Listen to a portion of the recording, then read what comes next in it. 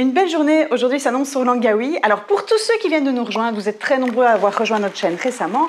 Je vais vous faire un peu l'état des lieux. Nous sommes Benoît et Virginie, nous sommes belges. Il faut savoir, ça fait combien d'années qu'on est ensemble? 17 ans. Ça fait 17 ans, oui, c'est celui qui tient les comptes. Et nous voyageons avec nos quatre filles, Olivia, Jill, Yoko et Sue. Et nous voyageons à travers le monde et ça fait déjà quelques temps maintenant que nous sommes en Malaisie et qu'on découvre ce pays merveilleux.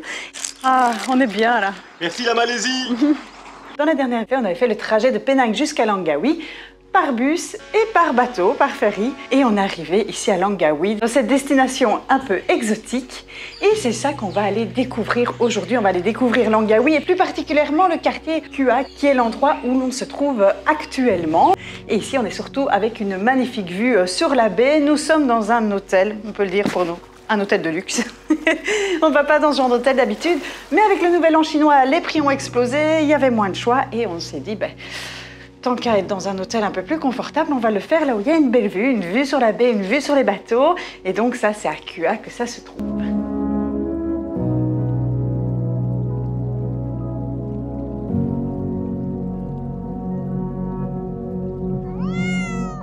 Alors aujourd'hui, il fait très très bon. Il faut savoir que depuis qu'on est arrivé à Langkawi, on se rend compte qu'il fait meilleur ici. Alors les températures sont toujours élevées, mais au fait, il y a un petit vent. Et ça, c'est, je pense, l'avantage d'être près de la mer. Donc ici, en fait, euh, l'île de Langkawi est juste à côté de la mer d'Adamant. Et donc la mer d'Adamant, on la connaît déjà parce qu'on y avait déjà été en bord de mer d'Adamant l'année passée, l'hiver dernier, quand nous étions en Thaïlande, où on était à la recherche des dugongs. Et donc voilà, nous sommes de nouveau sur les bords de cette très belle mer. Et ici, ben, il fait bon, il fait chaud, mais il fait bon.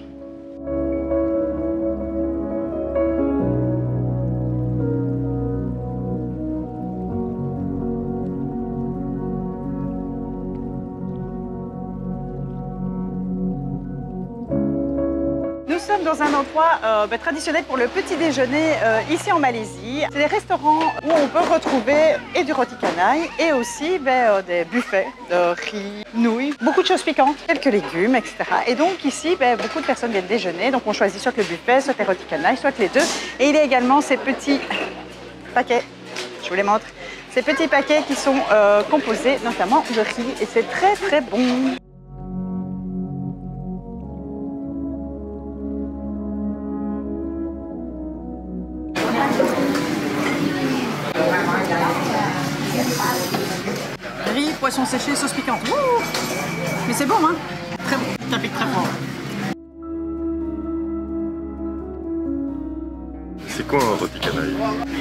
Une crêpe avec une sauce un tout petit peu piquante. C'est très bon. Mais je suis la seule à aimer la sauce un peu piquante. Donc les autres, ils prennent ça aujourd'hui avec du sucre. Mais ça peut être aussi euh, à la banane, ça peut être euh, même euh, au cacao Milo. Ça peut être à plein de choses, petite sauce qu'ils fournissent avec. Je sais pas euh, c'est juste de la sauce pour laquelle on trempe son pain, mais en fait, je trouve ça tellement bon. Moi, j'avoue, je la mange à la cuillère. Alors, je sais pas du tout si ça se fait, si c'est mal vu. Euh, J'ai vu personne d'autre le faire, mais je trouve ça tellement dommage de la gaspiller euh, une fois qu'on n'a plus de, de roti canai à, à tremper dedans. Donc, je vais finir à la cuillère. Pas bien. Je sais pas. Je sais pas si c'est bien ou pas. Vous savez si ça peut se manger comme ça à la cuillère, dites-le moi. en tout cas, c'est très très bon.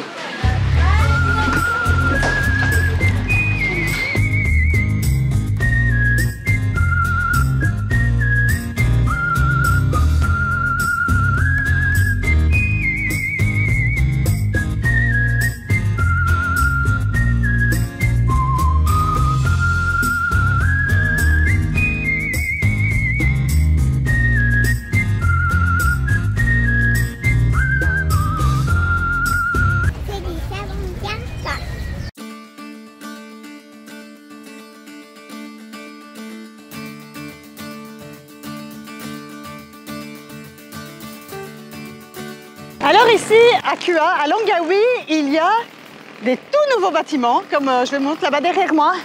C'est la Maha Tower, c'est super beau. Le soir, elle est éclairée. Il y a moyen d'aller la visiter et pour avoir une superbe vue sur le coucher de soleil. Mais comme nous, de notre hôtel, on a déjà la superbe vue, on n'a pas besoin d'y aller. Alors, il y a ces nouveaux bâtiments-là. Ils sont aussi encore en train de construire au pied de la Maha Tower. Ils construisent, je pense, plutôt des shopping centers. Et il y a aussi, comme de l'autre côté, voilà, je fais 360 degrés derrière moi, il y a beaucoup de bâtiments à l'abandon.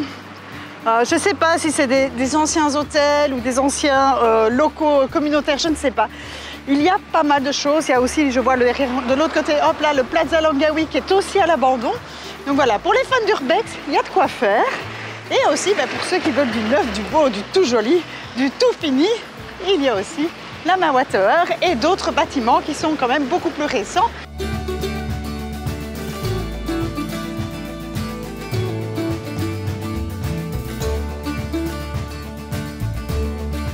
Peu étrange qu'on trouve à, à Langawi, c'est un château, genre château de princesse. Alors les filles, elles sont en oh, château de princesse. Ouais, on se croirait un peu à Walt Disney. Ce château, euh, je pense que c'est un hôtel. Alors je sais pas s'il est toujours euh, en service. Il y a des chances. À mon avis, on va passer tout près. Mais euh, ouais, voilà, ça c'est un peu l'architecture un peu kitsch qu'on peut trouver à Langawi. En tout cas, pour nous, ça fait un peu kitsch. Je pense que certains sont très fans de ce genre de choses. Voilà, il y a des tourelles. On pourrait avoir l'impression d'être une princesse. La belle au bois dormant de Langawi.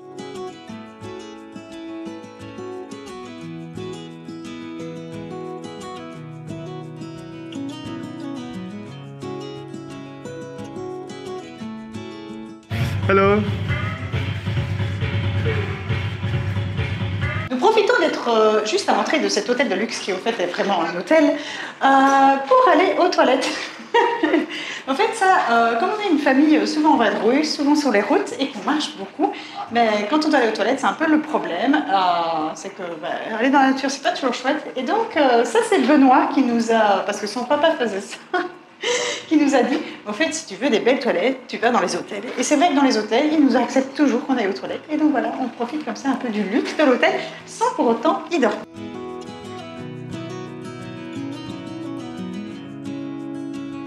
Si vous venez à Langawi et que vous voulez un endroit pour le sunset, un endroit un peu euh, instagrammable, vous pouvez venir ici tout près du euh, phare. Vous aurez vu sur le coucher de soleil, parce que le coucher de soleil se fait vraiment là dans la baie, juste derrière, près des bateaux. Alors vous avez le choix entre ici, gratuitement, ou alors de l'autre côté, juste là-bas derrière, la tour Maha.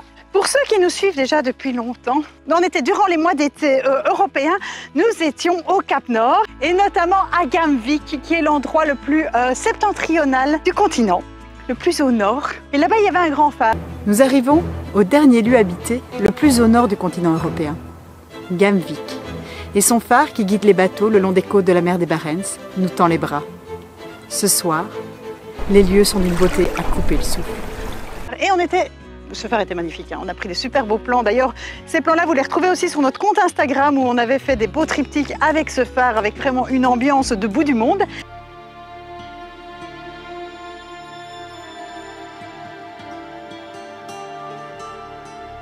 Et malheureusement, la porte du phare était fermée. Et ici, visiblement, il y a un escalier. Et donc les filles sont super contentes. Nous allons enfin monter dans un phare. Bon, celui-ci, il faut, faut l'avouer, il est beaucoup plus petit. J'y vais en éclair. Je vais monter seule, parce qu'il manque quand même quelques marches. Et que, euh, bon, la sécurité nous en prend. La tentation est trop forte, donc je vais quand même monter voir d'en haut, faire quelques plans pour les enfants. Voilà, je vous emmène avec moi, mais il y a plein de toiles d'araignée, donc c'est pas des plus agréables. Bon, je vais fermer la caméra le temps de monter, et puis je la rallume quand je suis en haut. Ah. Ok. Ah, je suis tout au-dessus. Bon, ben, si vous êtes téméraire, vous pouvez monter. Peut-être pas avec des enfants en bas âge, hein. c'est pas une bonne idée. Euh, je ne sais pas si c'est autorisé, en tout cas il n'y avait rien qui l'interdisait. Et je vous avoue que j'avais vraiment envie de monter, et comme ça je peux vous montrer cette vue magnifique. Je suis vraiment à hauteur du phare, je suis vraiment tout au-dessus. Oh, regardez comme c'est beau. Vous avez vraiment une très très belle vue ici. Il fait calme, on entend le bruit de la mer, il y a les bateaux au loin. C'est très très joli. Voilà, je fais le tour avec vous.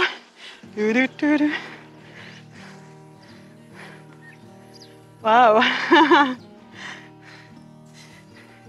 Alors, c'est étonnant que ce soit moi qui suis montée, parce que c'est moi qui ai le vertige. Mais ici, la hauteur est, est pas encore trop donc ça va. Mais il ne faut pas trop que je regarde quand même euh, juste en dessous, parce que sinon je me sens euh, ouh, basculer. Mais si je regarde au loin, si je regarde l'horizon, ça va. Waouh Je mets la caméra pour voir à l'intérieur du phare parce que moi je ne vois pas d'ici. Ah, ils, sont, ils se sont installés euh, au bord de mer. Ils ont l'air bien là-bas en bas.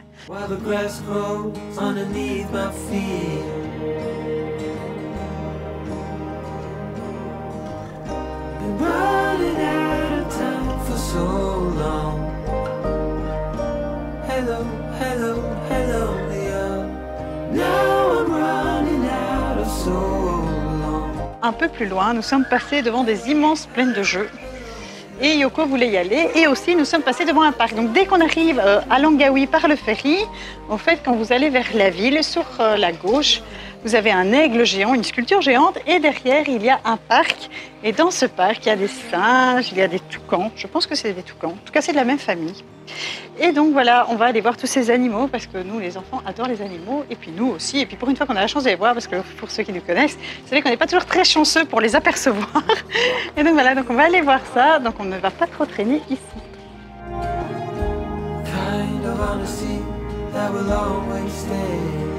Aujourd'hui, c'est la première fois que j'apparais à la caméra et j'ai envie de vous parler météo. Parce que la météo, ça me touche. C'est ce qui guide ma vie. Et aujourd'hui, il fait une petite trentaine de degrés, mais surtout, il y a du vent et des nuages. Et donc, aujourd'hui, je passe une belle journée en Malaisie.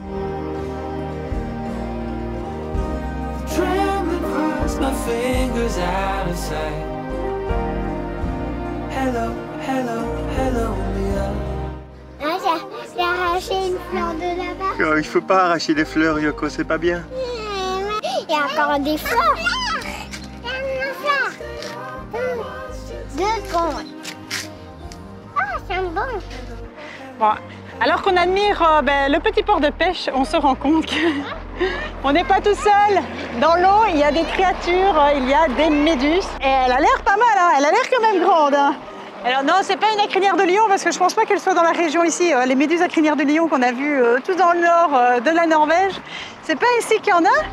Mais elle est pas mal en termes de taille. elle est blanche, elle a une longue. Et donc finalement, je suis contente qu'il n'y ait pas de plage ici. J'ai pas spécialement envie d'aller me baigner.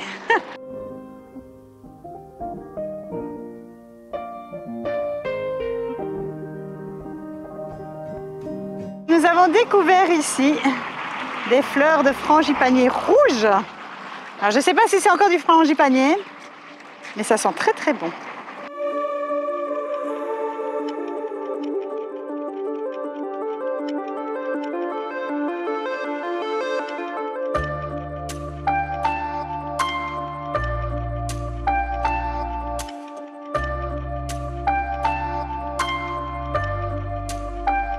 On en parle de la météo, il commence justement à pleuvoir. Mais ici en Malaisie, c'est chouette, ça dure quelques minutes et puis hop, on peut de nouveau ressortir. Voilà, on va se mettre à l'abri. Je valide des petits espaces pour s'abriter pendant qu'il pleut. Et Sue, elle, elle s'en fout complètement qu'il pleuve. Salut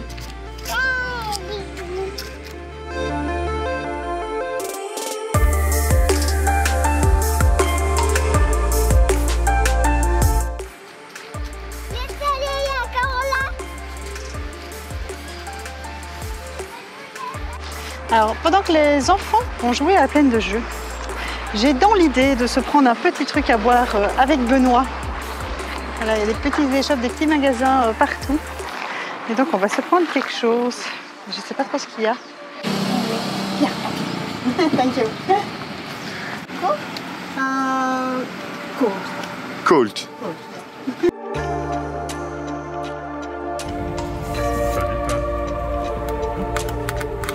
Et donc ça c'est le tétaric.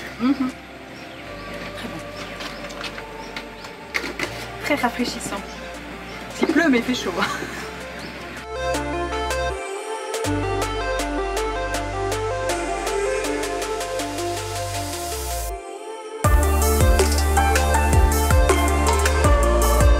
À l'instar du Danemark, nous avons ici en Malaisie des plaines de jeux immenses.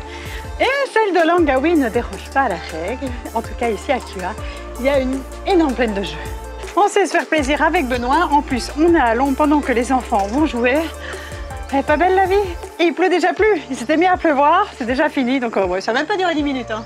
Ah, on est bien là. Merci la Malaisie Merci la Malaisie. Si vous n'êtes pas encore abonné à nos vidéos, ben, n'hésitez pas à vous abonner pour ne rien manquer de la suite de nos aventures. Donc nos vidéos précédentes ont porté sur Kuala Lumpur, ont porté sur Cameroon Island, sur Penang et les vidéos maintenant sont sur Langawi, mais le chemin n'est pas fini. Notre Notre voyage en Asie n'est pas fini. euh, et donc voilà, on a encore plein de choses à vous montrer. Et puis après l'Asie, il y aura encore plein d'autres choses parce que notre vie est sur les routes du monde. On a tout vendu en Belgique pour pouvoir voyager toute l'année. Et donc vous allez encore découvrir plein d'autres endroits, plein de choses et plein d'aventures qu'on va essayer de faire euh, en famille. Ça fait combien d'années qu'on est ensemble? 17 ans. ça fait 17 ans, oui, c'est celui qui tient les comptes. ça fait 17 ans qu'on est ensemble et ça fait euh, 17 ans que Benoît m'apporte le café. Quand il est là, parce que bon, quand il travaillait, il n'était pas toujours là, mais quand il est là, il m'apporte le café au matin et ça, c'est une valeur sûre pour garder une femme. Apporter le café le matin.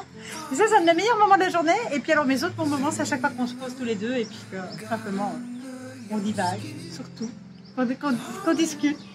On papote. Qu'on papote, qu'on observe les enfants de loin. De loin, comme ça on n'a pas les bruits. non mais c'est vrai, euh, les enfants, quatre enfants, ça fait quand même parfois beaucoup de bruit. Et donc c'est chouette aussi d'avoir des moments calmes.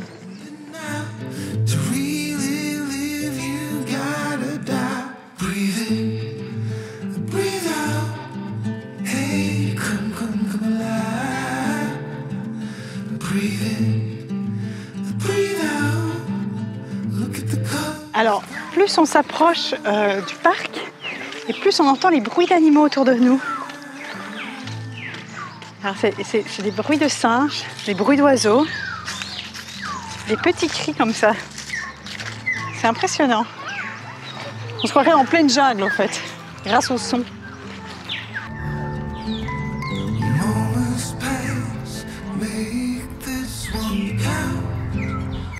C'est chouette. Voilà, on est soutenu dans l'ambiance. Ça vaut vraiment la peine de venir se balader ici.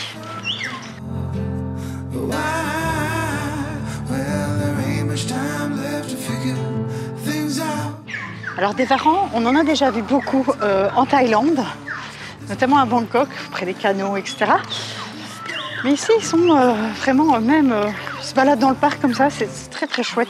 En fait, les varans, c'est un peu le, rat des, des régions tropicales. Près des égouts, il y a énormément euh, de varans, c'est un peu comme les rats. Mais euh, en attendant, je ne sais pas. Mais en attendant, je ne sais pas. Je trouve qu'ils sont quand même euh, plus gais à regarder que les rats. Alors je pense que c'est parce que nous, les rats, ben, on connaît. On a un peu cette connotation négative.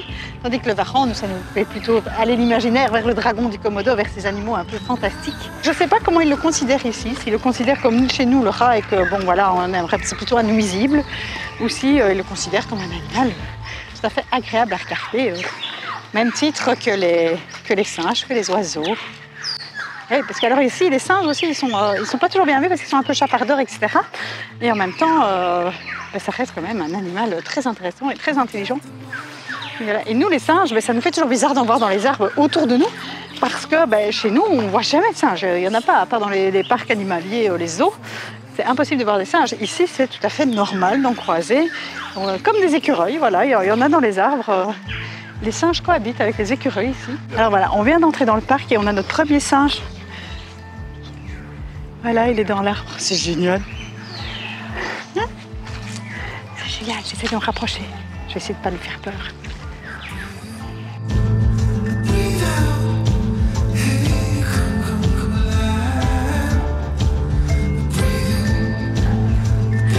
Donc ici, ce sont plutôt des singes noirs à longue queue. Voilà, noir avec une petite tête blanche, une petite touffe blanche au niveau du visage. Oui, pas tout de suite, moi. il va me piquer ma caméra, je sais pas. Je sais qu'il faut faire attention de pas se faire voler ses affaires. Il est juste au-dessus de moi, c'est génial. Il a pas peur, il est pas peureux.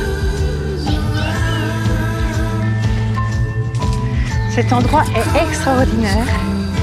Nous sommes à côté de la mer, à côté de la ville, et en même temps, nous avons droit à un endroit hors du commun, avec des animaux sauvages.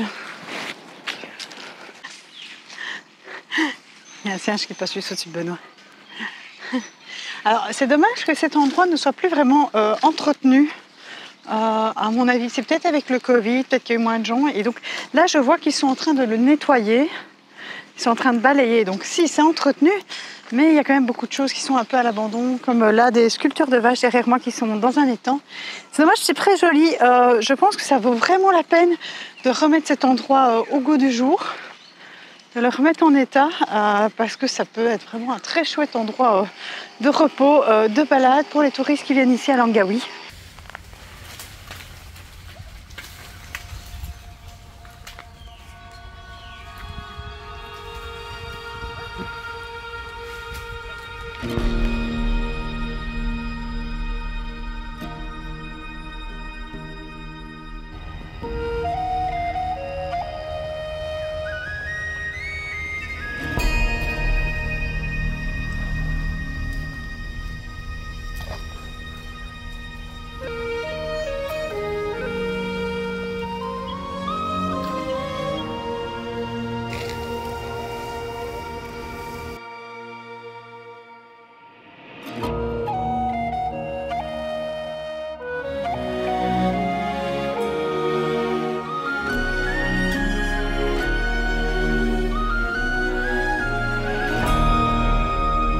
Cet endroit, sincèrement, est merveilleux. Il tient à être connu. Euh, plus on avance dedans, plus on est surpris. Alors pour nous, c'était un peu un espèce de parc euh, de légende à l'abandon. Mais en fait, ils sont vraiment en train de le nettoyer. Ils sont vraiment en train de tout couper, tout remettre en état. Et en fait, c'est magnifique. C'est magnifique. Il y a plein de décorations. Alors oui, elles sont pas toutes encore en bon état, mais je sens que ça va bientôt être le cas. Mais surtout, euh, à chaque endroit de décoration, il y a des légendes euh, qui sont rédigées et c'est écrit également en anglais. Et donc, euh, est en train de faire la lecture à ses sœurs de chaque petite légende. Et donc, c'est vraiment chouette à faire en famille euh, à Langawi. Vraiment, un endroit qui, qui devrait être mieux connu. C'est beau, un endroit franchement en pleine nature, décalé. C'est vraiment chouette. Entre les animaux, les arbres géantes, les plantations, les décorations euh, féeriques, on est dans un autre monde. Je pense que la Malaisie est vraiment le pays des vacances en famille.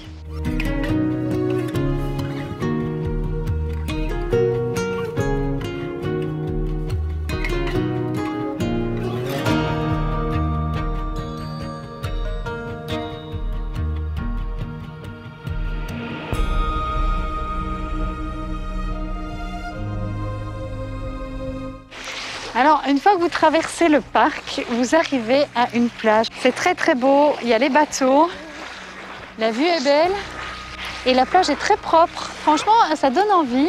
En plus, il n'y a personne. Je ne sais pas où sont les touristes. Ils sont partis où? Où êtes-vous les touristes? Non, non, on est bien là, c'est beau, venez. Franchement, pas hésiter à traverser ce parc et euh, vous serez euh, enchanté par euh, les animaux, par les, les- les décorations, par les arbres. Et puis après, vous arrivez sur cette plage magnifique avec une vue superbe sur la baie. Elle est bonne, elle est bonne, elle est super bonne. Maintenant, euh, je vous avoue, depuis que j'ai vu la méduse tantôt, euh, je suis pas sûre que j'irai nager. Alors, on avait prévu euh, d'aller euh, jusqu'à l'aigle, qui était à l'entrée de Langawi. Comme, on l'a vu déjà le premier jour et qu'il commence vraiment à faire très très chaud, nous n'irons pas jusque-là aujourd'hui. Et puis on l'a déjà vu. C'est vraiment le point à photo quand on arrive à Langawi. Et donc voilà, on va terminer euh, ben, cette vidéo euh, sur euh, le quartier de Kua, ici, sur cette plage.